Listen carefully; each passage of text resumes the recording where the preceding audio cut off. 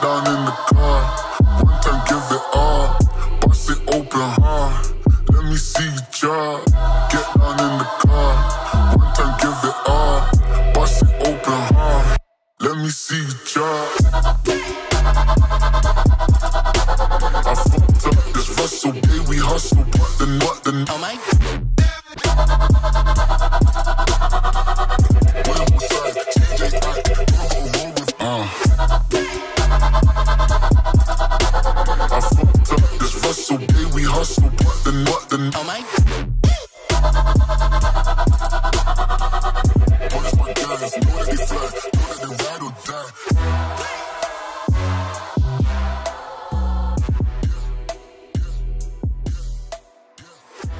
Hi Leute, grüßt euch. So, wie man hier unschwer erkennen kann, ich bin wieder bei Harley Davidson äh, Bielefeld vor Ort. Wir machen einen Zweiteiler.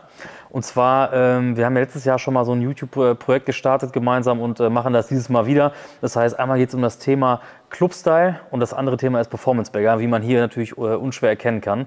Ähm, wir machen das äh, gemeinsam mit Kelle von Harley Davidson Bielefeld. Und ähm, ja, dann willst du vielleicht noch ein paar Sachen kurz zu dir sagen, um dich einmal kurz vorzustellen. Sehr gerne. Also erstmal Hallo an alle Zuschauer. Ich vertrete heute hier Harley Davidson Bielefeld und mich selber. ähm, nee, wir machen heute, wie er schon gesagt hat, ein bisschen was zum Thema Performance Bagger bei dir auf dem Kanal. Der erste Teil ist bei uns auf dem Kanal mit ähm, dem Thema Clubstyle in Richtung Softail. Ähm, ich mache hier bei Harley Bielefeld das Marketing. Deswegen sitze ich heute auch hier. Wir filmen das Ganze und gucken einfach, dass wir für euch ein bisschen Mehrwert bieten und wollten einfach mal über diese ganze Thematik ein bisschen quatschen. Toppi, genau. Also alles ähm, zu den, ähm, zum Video zum Thema Clubstyle findet ihr auch in den ganzen Links in der Beschreibung. Also einfach draufklicken, würde mich sehr freuen. Lasst doch gerne mal ein Abo da. Es ist nicht selbstverständlich, ähm, dass wir hier so äh, filmen dürfen an einem Montag. Ihr seht ja selber, hier ist gerade ähm, sonst alles dicht. Also ich bin da sehr happy drüber. Also geht mal gerne rüber, lasst mal ein Abo da und äh, ja, kommentiert da auch mal schwer, weil ähm, ja, das unterstützt uns so ein bisschen. Also zumindest habe ich immer das Gefühl, man, äh, dann kriegt man so ein bisschen zumindest was wieder. Ne? Äh, Klar, also so, so, je besser das Ganze läuft, je mehr Interaktion man hat, desto mehr Spaß macht uns beiden das natürlich. Ja. Und äh, desto schöner ist es natürlich auch im Hinblick auf ja, meinen Job, sage ich mal. Ne? Also ja. wenn Feedback, Feedback kommt und die Sachen kommen gut an, dann kann ich halt coolere Sachen umsetzen. Was dann wiederum natürlich für die Community auf YouTube ein Vorteil ist, weil mehr Budget, mehr Zeit, mehr sonst was ähm, bringt einfach geilere YouTube-Videos und ich glaube, das ist ja das, was am Ende zählt. Ne? Ja. So, jetzt das große Thema ähm, Performance Bagger. Ja. Also, ich war am Anfang, muss ich ganz ehrlich sagen, für mich war das immer relativ, also weil ich halt wirklich nicht so der ähm, Insider bin, was gerade auch dieses Thema Clubstyle angeht. Ne? Für mich ist es auch jetzt relativ frischer Wind. Clubstyle und Performance Bagger, wo ist eigentlich der große Unterschied und sowas. Ne? Ja. Ähm, jetzt beliest man sich so langsam, kommt ein bisschen mehr rein ne? und versteht natürlich jetzt, wie es der Name schon sagt, Performance. Ne? Ähm, gerade bei den großen Dingern, da denkt man wahrscheinlich, also der Erste oder derjenige, der, ähm, der überhaupt nicht im Thema ist und sich eine Roadlight anguckt und da irgendwas von Performance irgendwie hört, denkt sich, wie geht das denn eigentlich? Ne? Ähm, jetzt sehen wir natürlich hier das äh, Schiff, sage ich mal, was natürlich krass umgebaut ist. Kannst du mal vielleicht kurz den Leuten erklären, was ist eigentlich was steht hinter dem Thema Performance Bagger? Kann ich sehr gerne machen. Also ich persönlich bin da auch so ein bisschen durch den Job jetzt mit reingerutscht. Ich habe mich selber gar nicht so dafür interessiert, weil Bagger an sich noch nicht so für mich zur Debatte steht fürs eigene Kaufen oder Fahren. Aber weil wir das Teil halt eben umgebaut haben, damals fürs Bagger Party Race in Hasewinkel, das ist ja hier direkt um die Ecke, ähm, bin ich so in dieses Thema ein bisschen reingekommen und muss sagen, ich finde es sehr interessant. Ne? Also in Amerika gibt es da ja schon länger so eine Rennserie und in Deutschland wurde das ja dann halt auch eben durch dieses Bagger Party Race so ein bisschen hergebracht. Und es ist schon ziemlich cool, einfach mal zu zeigen, was auch solche Schiffe, wenn man sie eben richtig baut, äh, für eine Leistung bringen können. Jetzt nicht nur in Form von PS oder Drehmoment, sondern halt wirklich in Form von Track Performance. Ne? Und da sind wir auch schon. Performance Bagger sind Bikes, die ja dafür ausgelegt sein sollen, eine möglichst schnelle Rundenzeit zu fahren. Also so verstehe ich das Ganze. Das heißt, man baut halt das ganze Thema so, dass man möglichst leicht unterwegs ist, dass die Gewichtsverteilung optimiert ist, über zum Beispiel eine Aluschwinge, über Carbonteile. Ne, man schaut, dass man halt ähm, Fahrwerke drin hat, die optimal für die Strecke ausgelegt sind, dass man halt ein bisschen höher gelegt ist, dass man das feinjustieren kann, dass man das einstellen kann. Ne, alles so in diese Richtung, dass es halt so optimal wie möglich ist, um auf der Strecke einfach eine gute Rundenzeit abzuliefern. Ja. Ja, genau. Also ich finde auch, das ist halt wirklich, also genau, das muss man halt wirklich verstehen, ne? dass man wie gesagt, okay, man ist jetzt nicht mehr auf diesem Film, dass du halt mit irgendwie 21 Zoll, 23 Zoll, 26 Zoll Felgen kommst, obwohl es mit Sicherheit 21 vielleicht noch machbar ist, aber man tendiert ja da eher wirklich zu kleineren Reifen, sage ich mal, in Richtung 19 Zoll, dass wirklich du, ne, wie du es gerade schon gesagt hast, halt diese Performance auch wirklich äh, spüren kannst, ne? dass ja. du in die Kurven mit den dicken Dingern fahren kannst halt, ne? dass du halt wirklich äh, ja, da ordentlich Gas geben kannst. Ne? Was natürlich da ganz klar auch im Vordergrund steht, wieder natürlich, der Name sagt es ja schon, Performance, da geht es natürlich auch um ähm, Leistungssteigerung. 100 Prozent. Ähm, ohne Ende. Ne? Ja. Also ich bin tatsächlich ähm, zu dem Thema gekommen durch Don Performance. Ich war mal da. Also ich habe mir auch ein Stage 4 Kit verbauen lassen damals und äh, ja, das ist schon ein ganz anderes Thema. Und genau, weil du es gerade angesprochen hast, Hase Winkeln, äh, da habe ich das auch gesehen. Ne? Ja. Also ich habe das vorher noch nie in Deutschland gesehen. Ich habe das nur bei den Amis gesehen auf YouTube und dachte mir schon wieder, ey, jetzt drehen die ja schon wieder durch. Ne? Also total gestört. Ja. Aber man muss schon sagen, es ist schon echt cool, sich so ein Event mal anzugucken. Ne? Also kann ich wirklich jedem nur empfehlen. Ähm, selbst wenn man das selber nie bauen würde oder nie sich für sich selber sieht halt, ne? Ähm, ist das schon echt eine coole Sache. Ich finde auch, also da kann man sich halt wieder dann geile Sachen halt rausziehen, auch für seinen eigenen Stil. Ähm, das ist ja auch so ein bisschen das Thema von diesem Bike. Also das Bike ist jetzt kein reines Track-Tool in dem Sinne. Noch nicht. Ich glaube, da soll auch motortechnisch noch was dran passieren, ähm, was dann natürlich das Ganze immer mehr zum Track-Tool macht als zum normalen Straßenfahrzeug. Jetzt aktuell ist es aber noch so ein schöner Kompromiss. Das heißt, wir haben gesagt, wir nehmen ein Fahrzeug von der Straße oder für die Straße, was wir halt in diesem Style umbauen. Das heißt, wir haben Elemente ne, aus, dem, aus, dem ganzen, aus dem ganzen Stil, ähm, aber es ist immer noch so, dass es eigentlich ein Straßenmotorrad ist. Ne? Weil dort sind jetzt keine Semislicks oder Slicks drauf. Äh, wir haben jetzt nicht die ähm, Lichtanlage ausgebaut, wie das bei den meisten Track-Tools ja dann eben der Fall ist, wenn ich eben nur im Hellen fahre, dann kann ich mir das Gewicht natürlich sparen mit der Elektronik auch. Ähm, das ist bei uns nicht der Fall, sondern das Teil so wie es ist, eigentlich immer noch ein Straßenfahrzeug, hat aber viele Elemente aus diesem, aus diesem Bereich. Und das macht es dann wiederum interessant, glaube ich, für die ganze Szene. Weil auch wenn ich jetzt vielleicht sage, das Bike, so wie es da steht, würde ich so vielleicht nicht fahren oder das gefällt mir nicht, sind da vielleicht zwei, drei Dinge dran, die ich mir für mein Bike wieder rausziehen kann. Ja. Genau, das hatte ich ja auch schon mal ähm, in dem ersten Video auf eurem Kanal dann gesagt, ne, das ist ja wie diese Clubstyle-Geschichte, wo ich mir wieder so ein paar Sachen einfach raussuchen kann, wo ich Bock drauf habe. Ne? Oder mich so ein bisschen inspirieren lassen kann zumindest. Und ähm, ich finde auch, also ich sag mal ganz ehrlich, natürlich kannst du jetzt, ich sag mal, wenn du jetzt wirklich auf rein Performance-Bike gehst und guckst hier in Hasewinkel die ganzen Jungs an, so kannst du, wärst du keine zehn Minuten durch Bielefeld und okay. äh, wirst du voll angehalten. Ne? Ja. Ähm, aber genau, immer so ein bisschen inspirieren lassen, kleine Schnipsel wieder nehmen und das dann wieder für sich selber umsetzen. Ne? Das mache ich zum Beispiel jetzt auch aktuell. Ähm, das finde ich nämlich ganz cool. Und das gefällt auch. mir eigentlich so. Und dann ist wieder diese träge Roadlight, sage ich mal, wird dann wieder ein bisschen, für mich zumindest ein bisschen spritziger und ähm, agiler, ne? Agiler vor allem. Ja. ja. Ich glaube, das ist auch wirklich ein ganz guter Punkt. Ich würde sagen, damit die Leute auch wissen, worüber wir quatschen, stellen wir das Bike einmal vor.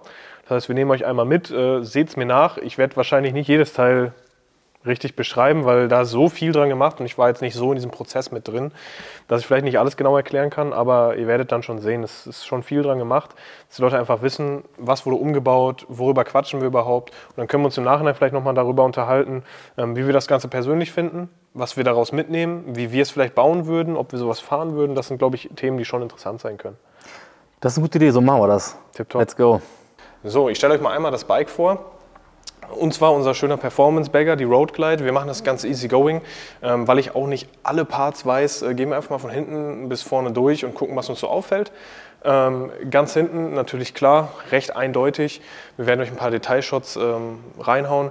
Kommt uns direkt entgegen das Öl ins Fahrwerk. Ne? Also das ist natürlich schon eine Sache dann eben für die Performance, dass du da ein vernünftiges Fahrwerk drin hast, was nochmal einen riesen Unterschied macht eben zu einem Serienfahrwerk. Ne? Hinten dann auch nochmal für die Straße einen anderen ähm, Kennzeichenhalter, ähm, 3 in 1 Kennzeichenhalter mit Beleuchtung.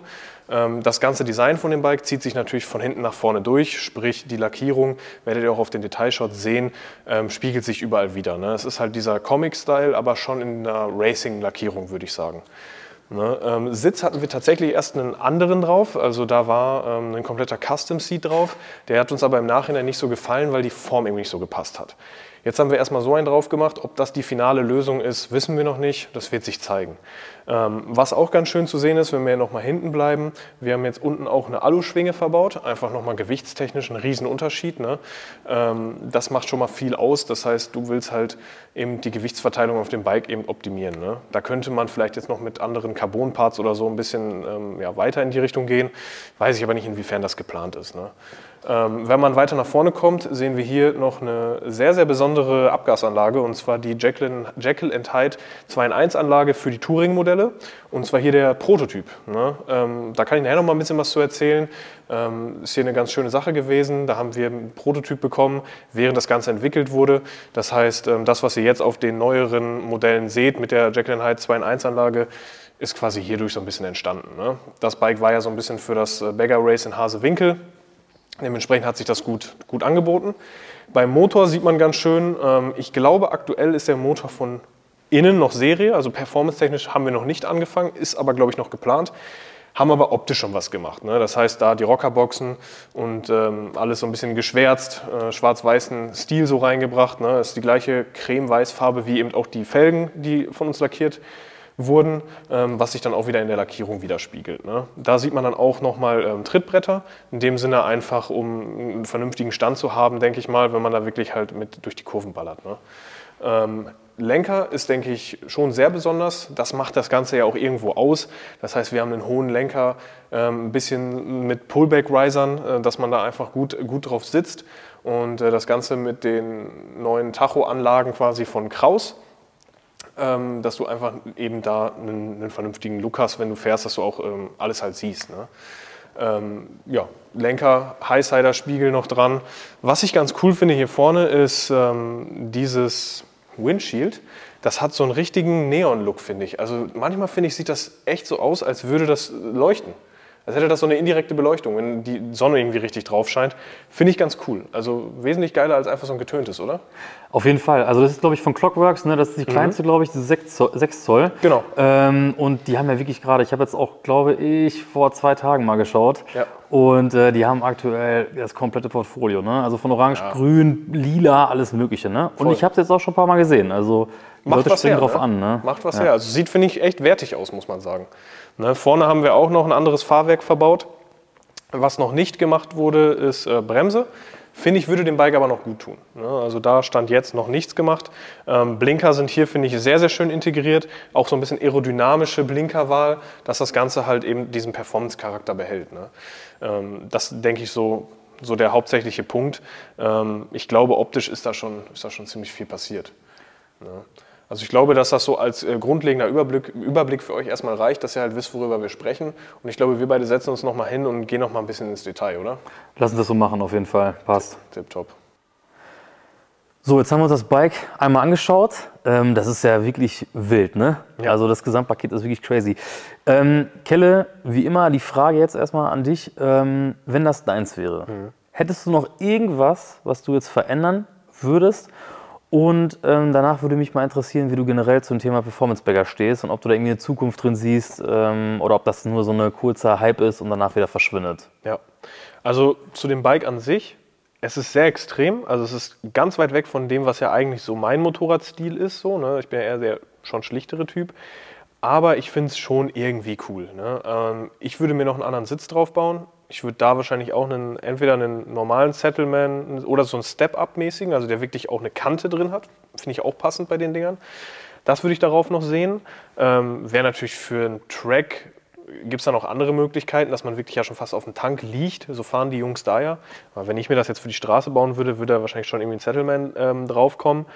Und sonst glaube ich tatsächlich, würde ich da ähm, eventuell, wenn dann wirklich nur noch performance-technisch was ändern. Weil optisch ist das Ding halt schon wirklich heftig. Ne? Also an dem Lack und dem Design, da würde ich komplett die Finger von lassen, weil da hat Alex so einen krassen Job gemacht. Also da jetzt was zu verändern, das wäre ein Kapitalverbrechen meiner Meinung nach. Ne? Das ist so, wie es ist, ein Kunstwerk und das finde ich top. Ne? Fahrwerk und sonst was ist ja alles gemacht, da brauchst du ja nichts mehr machen. Ähm, das heißt, ich glaube, ich würde dann wirklich darauf gehen und sagen, ich konzentriere mich wirklich auf Leistung und äh, knall da auch Stage 4 oder so rein, und damit das Ding wirklich fliegt. Ja, ich glaube auch. Also das ist halt wirklich, ähm, ich, also generell müsste man vielleicht nochmal sagen, man muss da ja wirklich unterscheiden. Ne? Also wenn das meins wäre mhm. und ich wäre jetzt hier einer von den Performance-Bagger-Jungs, die auf der Rennstrecke ja, fahren, oder will ich halt das halt für die Straße haben? Ne? Ja. Das ist ja immer so zwei Themen. Ähm, boah, ich bei mir, ganz ehrlich, ich sehe da auch gar nicht mehr so viel. Ne? Ich muss dazu sagen, also der Lack ist natürlich brutal gemacht, aber auch nicht überreden. Alex ist da ein König. Aber ich bin da ähnlich, meins ist es nicht. Das ist mir ein bisschen zu crazy schon. Ne? Ähm, ich wüsste ehrlich gesagt gar nicht, was ich da noch machen würde. Also, weil das ist für mich schon mehr oder weniger ähm, das fahrbare Projekt für die Straße.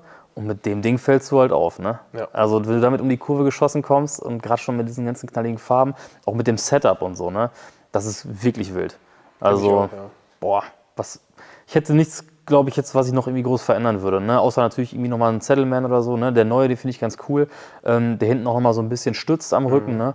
Ähm, vielleicht noch äh, eine Rockford-Anlage oder so einfach noch. Irgendwie sowas Richtung Sound nochmal irgendwie. Ne? Ja. Ansonsten wäre es das für mich auch schon tatsächlich. Obwohl ich sagen muss, anlagentechnisch finde ich das geil. Also diese Prototyp-Anlage, die da dran ist, ist schon was Besonderes. Vor ja. allem auch ohne das Hitzeschutzblech und so, ist irgendwie schon wild. Ja, also da muss ich ganz ehrlich sagen, das ist ja auch wirklich ähm, total verrückt, dass ihr da irgendwie eine Zusammenarbeit, eine Kooperation hattet und dass jetzt hier quasi, dass dieser Prototyp da noch dran ist. Ne? Das ja. ist irgendwie auch was Besonderes und ähm, ja, geile Aktion auf jeden also Fall. Wie genau das damals zustande gekommen ist, weiß ich gar nicht. Ich weiß nur, dass, glaube ich, zu der Zeit eben ähm, Jacket und Hyde diese 2 in 1 Anlage für die Tourer entwickelt hat und wir in der Zeit diesen Umbau gemacht haben. Und weil unser ganzer Händlerverbund ja mit denen eh auch ähm, gut zusammenarbeitet, die haben ja jetzt einen richtigen Performance-Bagger mit den Jungs aus Düsseldorf auch gebaut, also okay. so richtig Endlevel-mäßig. Der wurde ja, glaube ich, in Italien auf so einer Messe dann vorgestellt, richtig mit Carbon-Teilen, alles. Also sehr zu empfehlen, sich das auch mal anzuschauen. Ähm, ich glaube, damals ist es darüber so ein bisschen zustande gekommen, dass wahrscheinlich dann untereinander gesprochen wurde, wir haben sowas vor und dann hieß es, ey, wir machen gerade das, sollen wir dann nicht mal vielleicht das testen, dass man das in Hasewinkel vielleicht auch sieht oder so. Und äh, dann weiß ich noch, dass der Shorty von äh, Jekyll eben hier war und äh, das Teil halt hier dann mit uns zusammen angebaut hat. Dann musste das halt alles ein bisschen angepasst werden, weil es natürlich so noch nie am Fahrzeug dann vielleicht dran war. Ähm, war schon irgendwie eine ganz coole Story, dass das so dann das erste Bike damit war und ne, ich weiß gar nicht ganz genau, in welchem Maße die jetzt funktionstüchtig ist, also ob dort alles funktioniert schon, aber Sound ist auf jeden Fall top. Also ähm, ja, hat den Weg geebnet für das, was der Serienkunde sich jetzt eben kaufen kann. Ne? Das hat History. Ja, ja ich finde das halt geil. Ne? Jeder, der es nicht gesehen hat, vielleicht noch mal, auch noch mal vorbeischauen auf dem Video oder ähm, im Video, was wir mit, äh, dem, dem, Breakout und dem Audi gemacht haben. Das ist ja auch so ein, wieder ein Konstrukt, sage ich mal. Da stecken sich wirklich Leute mal die Köpfe zusammen entwickeln was und dann kommt da was Cooles bei rum. Ne? Und ja. das ist ja dann ähnlich halt. Ne? Da vielleicht nochmal ganz interessant, für die, die damals das Audi-Video gesehen haben, das Bike ist mittlerweile schon verkauft. Ach krass, Das okay. ist schon weg, das ging ruckzuck. Also hätte ich nicht gedacht, dass es das so schnell weg ist. Der Wagen ist noch zu haben. Also wer noch einen Audi RS6 mit Harley-Folierung braucht, ist ein Schnapper, steht beim Audi-Zentrum. Hey, cool. Ja. ja. nicht schlecht. Also dann am Glückwunsch, falls du das siehst, äh, der neue Besitzer, äh, alles richtig gemacht. Also ja. ich war schwer beeindruckt. Ne? Ja, ist ein tolles Bike. Ja. Ja. Ähm, dann nochmal, also letzte Frage. Glaubst du, dass dieses Thema Performance Bagger, ob das nur ein Hype ist oder hast, glaubst du, dass das wirklich jetzt noch die, die nächsten Jahre durchziehen wird? Das ist sehr, sehr schwer einzuschätzen. Also ich glaube schon, dass es jetzt aktuell ein extremer Trend ist und Trends wie überall, wenn man sich jetzt Märkte oder sonst was anguckt, Trends werden abflachen. Es gibt immer Trendwenden und es wird immer irgendwas Neues kommen, was dann wieder mehr im Hype ist. Ähm, ich glaube, wo man sich eher Gedanken darüber machen muss, wie lange bleibt dieser Trend auf diesem Level. Ne? Sind wir jetzt schon beim Peak oder sind wir noch auf dem Weg dahin? Das können wir ja nicht wissen. Ne? Ich meine, das kam ja erst so im Laufe 23, dass das so richtig in die Richtung ging. Ne? Mhm. Ähm, dann auch eben hier in Deutschland vor allem. Ich glaube, in Amerika ist das schon ein bisschen länger der Fall. Aber ähm, sind wir denn schon beim Peak? Also ich meine, jetzt mit der CVO ST kommt das erste Mal ein Serienmotorrad, was genau das abdecken möchte ist die Frage, ob es dann nicht jetzt noch weiter vorangeht in dem Bereich. Ne? Also ich muss ganz ehrlich sagen, ich glaube, dass das jetzt auf jeden Fall noch so ein, zwei Jahre noch weiter nach oben geht. Ich kann mir, es ist jetzt nur meine Meinung, ne? ich kann mir nicht vorstellen, dass das ein Dauerbrenner wird. Ähm, ich glaube gerade so das grundsätzliche Thema Roadlight auf Performance Bagger ist jetzt aktuell wirklich so ein, ich bin ja auch deswegen wieder drauf äh, gesprungen, sage ich mal. Ne? Ähm, aber gefühlt fahren jetzt gerade sehr viele Roadlight und das ist jetzt auch immer so das Thema. Aber ich kann mir vorstellen, dass das irgendwann auch wieder abflachen wird ne? und dass man dann wieder auf was Neues kommt. Ne? Aber das ist jetzt nur eine Prognose, keine Ahnung. Ne? Ähm, aber jetzt mit der neuen Vorstellung von der neuen äh, Roadlight CEO ST, das wird jetzt nochmal richtig knallen. Ne? Das ist, ich sehe das ähnlich wie im Clubstyle halt auch, ne? Ja. weil ich glaube, dieses Jahr wird schon wild, was Clubstyle angeht. Weil, ähm, wenn man sich jetzt auch andere Videos anguckt und so weiter bei YouTube, ne, auch, also YouTube Deutschland, sage ich mal, ist gerade alles voll mit Clubstyle. Ne? Ich glaube, das ist halt eben auch der Punkt, die Marke wird sich bewegen und auch die Szene wird sich bewegen. Wie lange wir uns in dem Bereich bewegen, das ist immer die Frage. Ich mhm. bin da genau bei dir. Also ich glaube auch, dass wir in zehn Jahren nicht mehr so darüber sprechen werden. Dann wird es halt vereinzelt Leute geben, die es ja auch schon vorher gab. Das ist ja nicht seit gestern, dass es sowas gibt. Also die Leute machen sowas ja schon länger, vor allem Clubstyle. Ähm, aber ich glaube, dass das schon auch aus dem Mainstream ein bisschen wieder verschwinden wird. Mhm. Ja. Und dann kommt was Neues. Ist ja auch gut so, weil ja. so haben wir eine gewisse Evolution und dieses ganze Customizing-Thema profitiert immer mehr davon. Ja, ja. ich finde es halt auch, ich finde es geil. Also ich finde es generell, finde ich immer cool, wenn das alles in Bewegung ist. Ne? Wir hatten ja schon mal vorhin darüber gesprochen, dass wir gesagt haben, ey, das ist gerade so cool, jetzt in der jetzigen Zeit, weil es gibt so viele Trends, so viele Leute haben so Bock auf unterschiedliche Themen in der ganzen Harley-Welt. Mhm. Und ähm, ich habe das letztes Jahr in Fark schon gesehen. Das war unglaublich krass, was du da an Motorrädern, was du da für eine, ich sag jetzt mal, Artenvielfalt gesehen ja. hast. Und ähm, das ist wirklich geil. Ne? Und ich finde, so muss das weitergehen. Das tut auch, glaube ich, Harley Davidson, der Marke tut das sehr gut. Ähm, man merkt es auch bei den Händlern, es stehen nicht, du kommst nicht mehr in irgendwelche Läden rein, wo dann irgendwie krass breit gebaute Typen stehen. Ja. Alles ist schwarz und du hast selber schon so ein bisschen unwohles Gefühl. Es öffnet sich halt. Ne? Und das 100%. ist echt schön. Gut, ich glaube, das passt soweit erstmal. Ich denke auch. Ähm, Leute, nochmal die kleine Erinnerung oder Hinweis. Ähm, lasst uns gerne äh, ein bisschen Liebe da, ne? Äh, haut gerne was in die Kommentare. Uns würde auch mal interessieren, vor allem, ähm, was ihr davon haltet. Ist das nur ein Trend? Ist das ein Hype? Flacht das schnell wieder ab? Seid ihr selber vielleicht gerade voll auf den Zug gesprungen oder seid ihr da komplett gegen? Ne? Das ist so, was, glaube ich, uns interessiert. Ähm, und was ich gerne wissen möchte, habt ihr weiterhin Bock, dass wir noch ein bisschen äh, mehr Videos machen und vor allem was denn dann? Ne? Ich glaube, du hattest ja auch mal äh, schon mal eine Umfrage gestellt. Ähm, ja, was so eigentlich mehr noch kommen sollte. Eher so ja. Bike-Vorstellungen oder ich fand jetzt auch euer Video letztens ziemlich cool. Ähm, aber gerne mal auch bei Harley Davidson Bielefeld wirklich nochmal die Videos durchschauen. Also da geht auch gerade ganz schön was ab. Ne? Ähm, so ein bisschen Harley-Alltag. Ja. Das fand ich mega gut. Ne? Ja, ich hatte so eine Abstimmung bei Instagram gemacht. Aktuell unsere drei Stützpfeiler des Kanals. Wir fangen ja jetzt erst an. Ne? Ja. Das muss sich ja erst entwickeln. Das ist einmal Bike-Vorstellungen, wo wir unsere Custom-Umbauten halt zeigen, die wir selber gebaut haben. Ähm, dann einmal ein Frage-Antwort-Format, wo verschiedene Mitarbeiter aus der Firma oder auch externe Partner, die mit uns irgendwas zu tun haben, eben ähm, ja, Fragen zum ganzen Thema gestellt bekommen. Ähm, und als drittes jetzt so ein bisschen der Alltag von Harley Bielefeld. Das heißt spontane Videos, wo einfach Sachen gezeigt werden, die nicht so krass geplant sind wie vielleicht das hier jetzt. Ne? Und ich glaube, dass das ganz cool ist, weil bei der Umfrage tatsächlich die meisten auch wirklich Interesse an diesem Alltag hatten also die hatten mehr Interesse an unserem Arbeitsalltag als an den eigentlichen Motorrädern. Was ich schon irgendwie cool finde und wieder zeigt, dass diese Zugehörigkeit zur Marke doch sehr, sehr stark ist. Ne, und wenn da deine Zuschauer Bock haben, gerne in die Kommentare schreiben, könnten wir gerne auch mal so ein Video drehen, dass du vielleicht einfach mal vorbeikommst, mir ein ganz lockeres Video mal machen und ich dir zum Beispiel einfach mal eine Tour hier gebe und dir alles mal so ein bisschen zeige. Ne? Also weil der normale Kunde vielleicht ja nicht alles sieht. Klar, beim Open House sehe ich vielleicht auch mal die Werkstatt im Detail, aber gerade unten den Keller mit Prüfstand, mit äh, eben was wir hier auch alles so eingelagert haben, einfach mal so eine Tour und auch vielleicht das ganze Gebäude hier, ist ja ein sehr geschichtsträchtiges Gebäude, äh, das Lenkwerk, ist vielleicht ganz interessant, dass die Leute, die noch nie hier waren von den Zuschauern, vielleicht mal einen Überblick kriegen, ob sich eine Fahrt hierher vielleicht auch lohnen würde. Das finde ich eine sehr, sehr gute Idee, weil ich ähm, tatsächlich auch noch nicht alles gesehen habe. Und ähm, ja, ich finde es halt immer cool, das bringt halt einen so ein bisschen mehr zusammen und näher. Ne? Und man ja. hat dann direkt ein geiles Gefühl, wenn man hier hinkommt. Und das soll ja irgendwie auch so was sein, wo man sich halt wirklich einen Samstag mal zu einer Ausfahrt trifft, einen Kaffee trinkt, ein bisschen abhängt, sich die Bikes anschaut. Ne? Und ich finde das immer ähm, ja, ganz schön. Ne? Es macht einfach, gibt einfach ein besseres Gefühl irgendwie. Ne?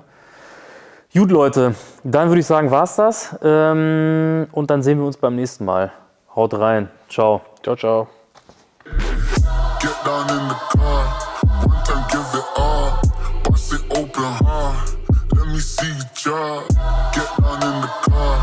One time, give it all. Bust it open, huh? Let me see you job. I fucked up this Russell day. We hustle, but the what the.